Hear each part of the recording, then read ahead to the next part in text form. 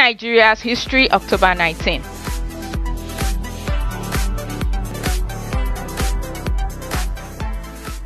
October 19, 1983, Supreme Court dismisses Bola suit against Victor Olunloyo over the latter's victory at the Oyo State gubernatorial elections. 1880, Susan Crowther, wife of Bishop Samuel Ajayi Crowther, dies. She was born a Muslim named Asana but was baptized Susan Thompson. They were married for over 50 years. 1986, founder of Newswatch magazine, Dele Giwa is killed by a letter bomb which was delivered to him in his residence at Ikeja in Lagos State.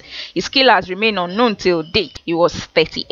1934, former military head of state between 1966 and 1975, General Yakubu Gowon, or Jack as he was called by the British, is born in Kanke in present-day Plateau State. Today, Nigeria's history brought to you by Ojora Olabisi.